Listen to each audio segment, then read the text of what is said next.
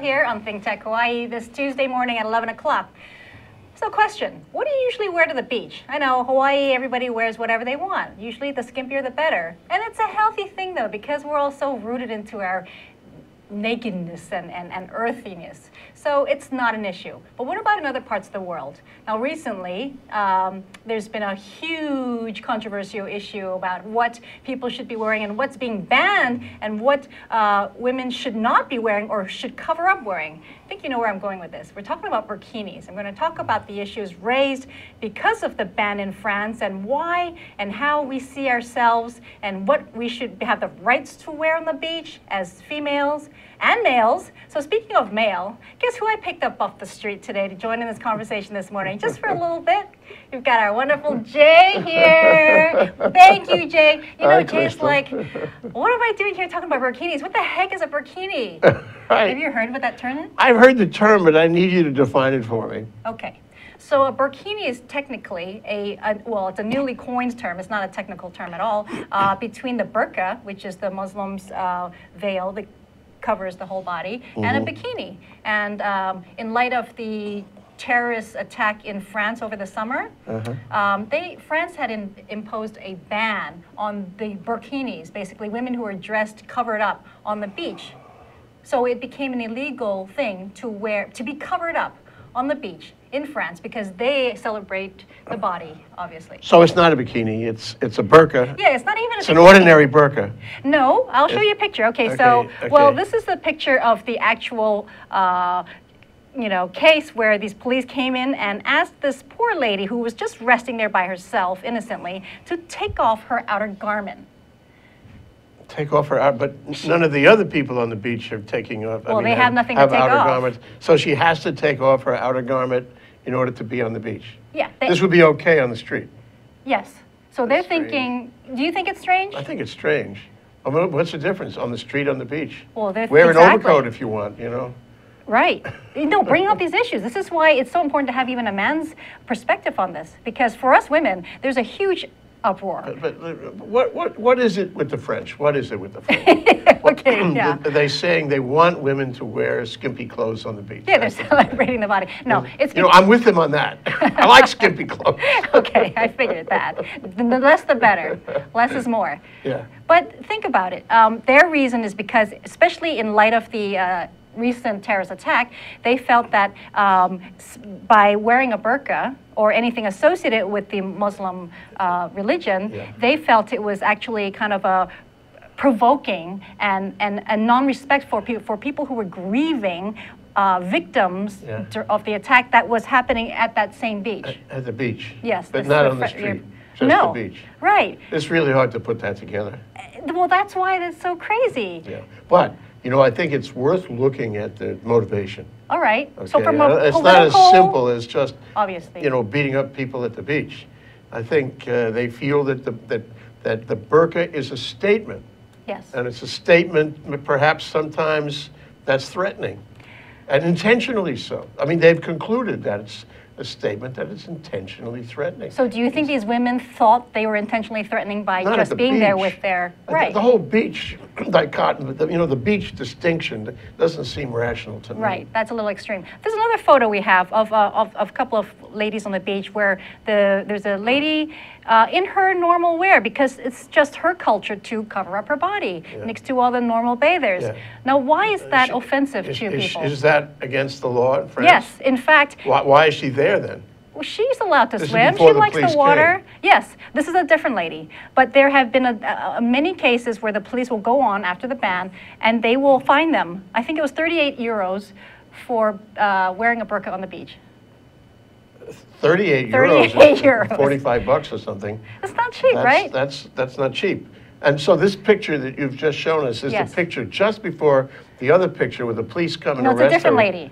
No, but theoretically, Yes. the police are about to arrive, you know, at the beach Oh, yes. That and arrest picture, that woman or these- charge her 38 dollars, 38 yes. euros for what she's doing. These cops would be standing on the beach waiting for her to get out of the water. I don't Everyone understand would be watching. I I must say, I don't understand. I can understand, you know, their, their concern about people making a sort of an anti-French statement Yeah. by wearing burqas in certain situations. Right. But the beach, is the, is the French beach different from any other beach? Exactly. Why is the beach different than a street? And do you know that in France they actually banned the burqa in the city, in the streets, since 2004? Yeah, but, So that, but they changed their minds about that. Yes, yeah. because of all the noise.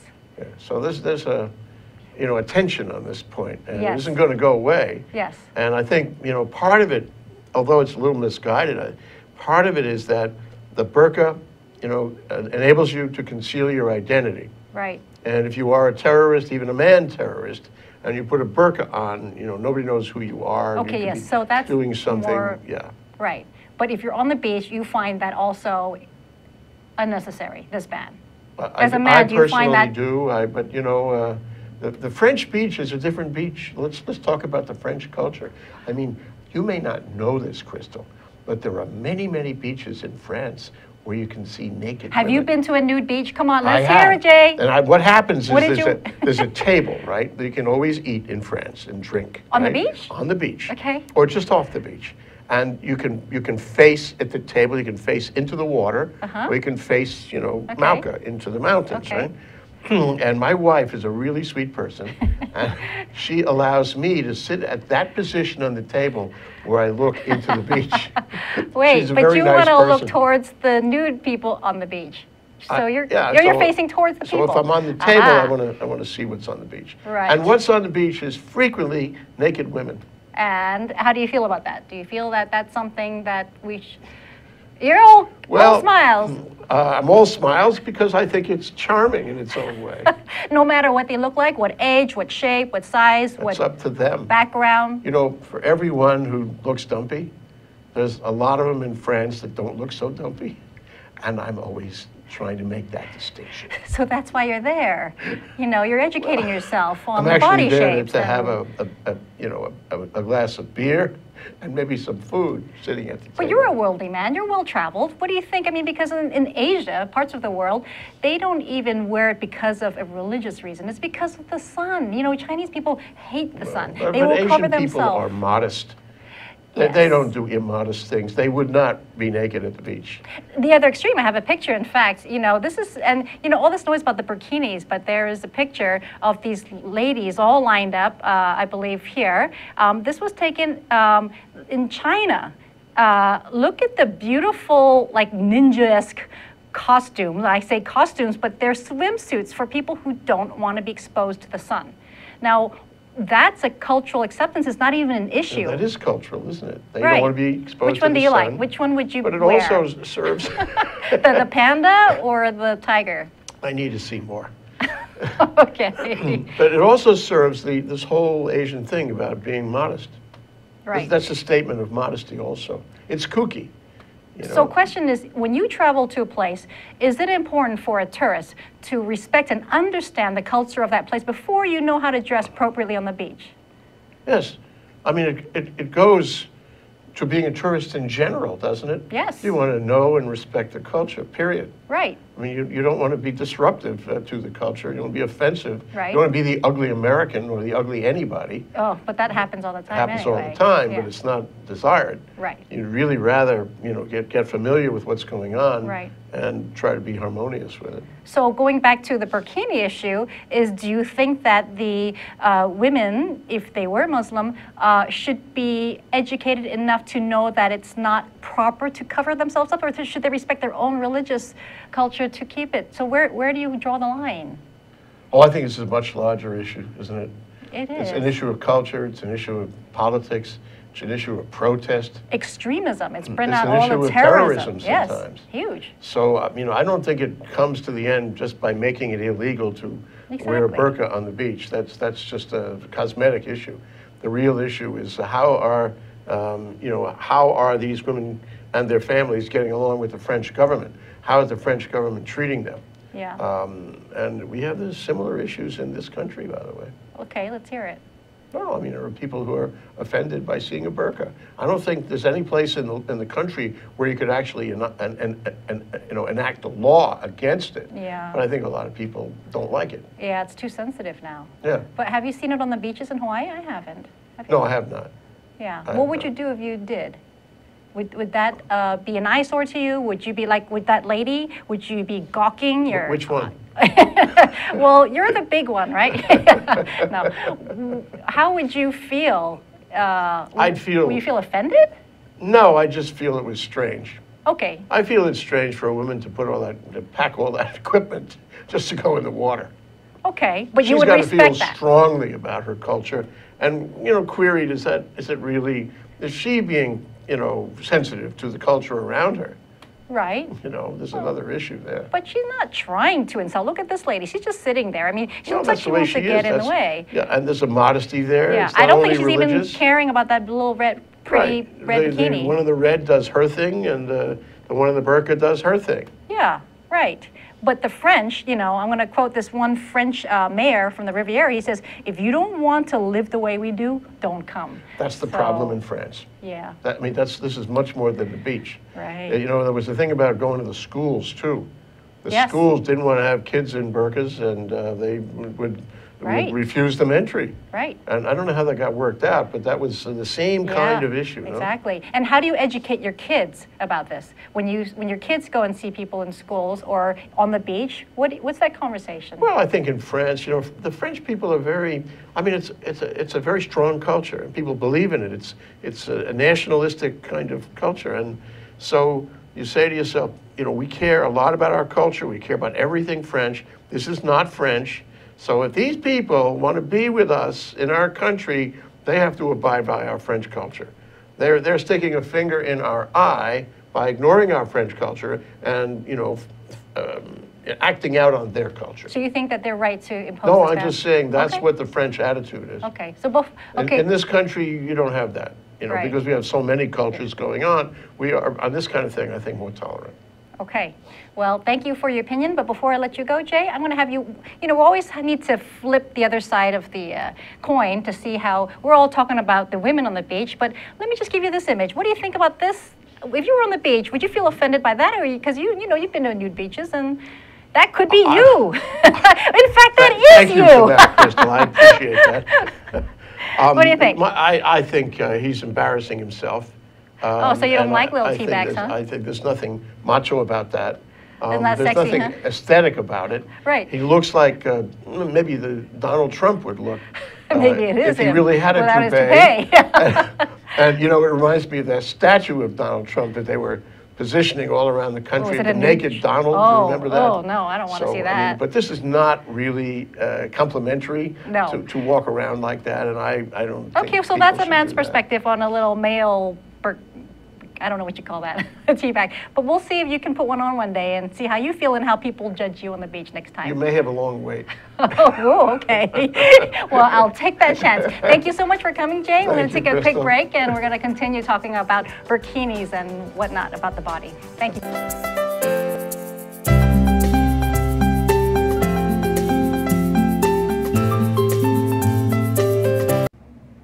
Aloha! How you doing? Welcome to Hibachi Talk. I'm here, Gordo the Tech Czar on Think Tech Hawaii, and I'm here with my good old buddy Andrew, the security guy. Hey everybody, how you doing? Aloha.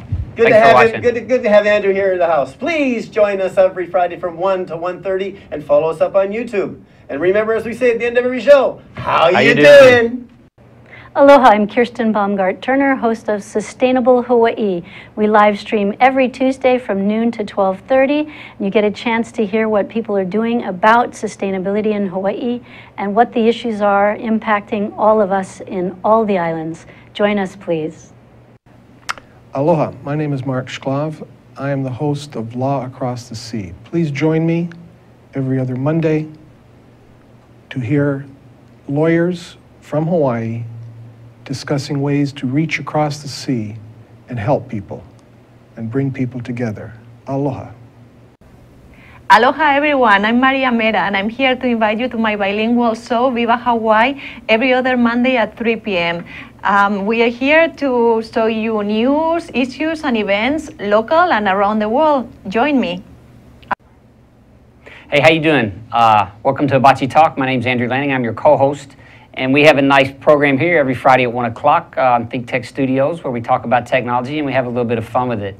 So join us if you can. Thanks. Aloha. Yeah. Yeah. So okay, want me to welcome back. Uh, so thank you, Jay, again for coming in for a male perspective on the burkini. And now we're going to welcome our other guest. Uh, she is a advanced certificate uh, major in women's studies, PhD student in sociology at uh, UH. Welcome, Joy. How do you pronounce your last name? I don't want to do it wrong. La Canienta? That's perfect. Oh, yeah, thank Joy you. Lacanienta. Thank you for okay. having me. And Joy, I understand you're uh, a community organizer for over 20 years. So you're 23, very, yes. 23, all right. 23, yes. So you're very, very active in the community. Yes. So how do you feel as a woman? Um, uh, with ethnic uh, background, Mm-hmm. being in Hawaii, uh, about this whole burkini issue. Do you think it's a, what's your position on the ban in France? Let's just start with that. Okay, well, it's all about like the policing of the women's body, Right. More than anything, like it, it doesn't have to be the burkini, but it also has a lot to do with just policing the women's body and taking away the women's voice in terms Uh-huh. of what she can do with her body. It's Right. actually the women's preference and whatever she wears. I mean, if they're gonna ban the burkini, they should ban the scarves that the the French women are so famously wearing for. I mean, does it matter if it's on the head or is it on the neck? Right. But it's it's really more of a statement about the intersection of race Yes. and the intersection of you know oppressing gender and and also the whole patriarchal issue of imposing dominance and superiority for what we perceive as the other you know Right. So see, women's studies lingo here. Uh, we have to bring all that in. Objectification. That's a huge one Yes. too. I mean, Yes. do you think that this issue raised that self-objectification, other than the fact that they've taken away uh, a woman's voice by just uh, imposing a rule on how she should dress on the beach? Right, yes. I mean, it, it really doesn't matter what a woman wears on the beach. It's her body. I mean, we, it's particularly in, if you go to Europe, um, if you go to France and Nice and the beaches over there, it, men wear thongs or Right, whatever. we just missed the, Yeah. the nice, sexy. Oh, did you see that sexy Yes, shot? yes, I so did, what do you yes. think? Is that offensive to you? That is more offensive to me than the burkini, I have to me say. too. Yeah. That's just like gonna ruin my lunch, you know. If I saw that, and when you go to Thailand, you get all the dumpy old German guys who go over there for a little, you know, retreat, and they all dress like that, and it's like, oh, why? it's more um, what is not just appeasing to the eyes, but it's also revolting. yes, thank but you. they they don't ask our permission if you want to see that, right? Right. So exactly. Why is there not a ban on the skimpiness on an ugly male body? Right. I mean, there is kind of like a, a, a law. I mean, especially in the United States about you know not being undressed or naked in front of the you know public places Right. and whatnot. But I think it's just this is more targeted for a specific group of people. Yes. A specific race of folks, Yes. and more particularly a specific uh, religion and faith. Um, Right. Faith-based beliefs. But that's the thing, you know, when we talk about religion, this raises a huge issue, and we don't really have time to go so in depth into it. But this is a sensitive issue. But it, they're assuming that all the people who cover their bodies are Muslim, which is not the case. In fact, uh, they say, I think. 40% of the salespeople, uh, I mean, people who buy the burkinis online or wherever it's accessible, are not Muslim. They're Jewish, a lot of Asians who I spoke to Jay about how they just cover it because they don't like the sun. Right, and it, I mean it's an SPF protection, right? If, if you're not happy with the SPF 100, then the best thing to do is put, you know, clothing. I mean that's a, I mean it's a self protection, but I think the whole uh, politicization about the the burkini issue is really heightened by you know they relating it to something that it is not, which is terrorism. Right, I right. mean. w- w- But it's kind of like a misguided and misdirected oversimplification of yeah, and, and issue? fear. It's out of fear, and what are you going to hide under a burkini for crying out loud, right? But it's really that, that the images that um, the Western society Mm-hmm. um, wants to project to vilify uh, something that is not them. Right. So, I mean, I, if I can quote some folks, you know, Yeah, in terms of the generalized other that I Yeah. mentioned, um, Simone de Beauvoir Yes. um, wrote and, and really coined the phrase women as the other. Right. Right. So you're just heightening the sense of women being not just objectified, but really, did you even ask their opinion about how they feel about wearing the burkini? It's, n- it's nobody else's business but your own self. But where do you draw the line between, you know, because it's such an extremism um, culturally for Muslim women who- to grow up to to cover themselves in Right. the public. I mean, how Right. much do you respect that, and and where does it go? To an offensive side where people should step in and say, well, come on, this is really affecting how uh, my children are going to view what is uh, appropriate and not appropriate. Yeah, that's why it's it's really hard to separate these intersecting issues Yeah. about how people grow up in the culture in the belief system. For example, the the Muslim religion really believes in covering up the body. Right. And Lila Abu-Lughod, um, an author at Harvard, wrote this beautiful book about do Muslim women need saving? You know, in terms of the the covering of the head mm-hmm. and all that stuff. Is it is really bad for them or Are they really, really unhappy? is, you is it an oppressed thing? Right. But not all Muslim women have to wear the covering on the head. It's a choice. And I think that's what's being taken away the, Right. the right of a woman to to voice out what they want to wear. Yeah. You know, it's it's your choice, it's your Right. body, and that you're being vilified in terms of images in the media. You know. Yeah. Well, that's. I mean, there are so many angles we can take this, but to go back onto the beach, Mm-hmm. where this this whole controversy is arising, because you know, I agree with you. There's all that you need to take into consideration on the beach specifically. Are we? Should they ban this? I mean, um, there is a quote. There's somebody who said that that swimsuit becomes you. Which is interesting because culturally, uh, or just for gender reasons, or who you are as an identity, how you choose that bikini or not bikini or burkini, does that reflect who you are inside? I think it's more of a commercial plot to, to promote certain bikinis because we were not born with bikinis in mind. What do you wear to the beach? Right. Well, I, I wear wear my piece or two local. I'm, I'm a local girl, so I, I wear mean? the, the shorts and you know sometimes a tank top and all that stuff. So tell and, me, you know. is local girl, you, when you say that, do you think that locals are more reserved about the bodies on the beach? No, I mean I think it's very different from one local girl to another local person. You know, it's just or a local man to not. I've seen some local boys who just wear shorts or whatever, Right. and some wear jeans to the beach, whatever they feel or whatever they have. Yeah. it's not so much of a an issue. It's I think for for for us here, particularly in Hawaii, who who live in an island lifestyle, right? Right. It's far more relaxed. That's why it's such a departure. But I have seen a lot of my friends from Japan come Yeah. here, and they wear those suits, Right? you just know, to protect from the sun. It's not because they don't want to be exposed. and those shark. I mean, the the shark skin type of the long sleeve Yeah, things that yeah. they wear. It's like a rash guard Right, that yeah, they wear for surfing. Right. It's because they keep going back and forth from the surfboard. Yeah, so but it's if somebody, see, so you're talking about something normal because of the sun and protection of the skin, but like a lady like that who's obviously wearing it for religious reasons, covering her head with a scarf, Mm-hmm. that is deemed offensive to some people, and it's just And I think we have to ask why. Yeah. Why is it offensive? why is it yes? Why is it associated to extremism and terrorism? Just because I mean, this is how simplified we're Right. returning into. It's, it's really scary. Right. Why, why is it scary? We, I think Yeah. we have to keep um, looking at the fact that it's, um,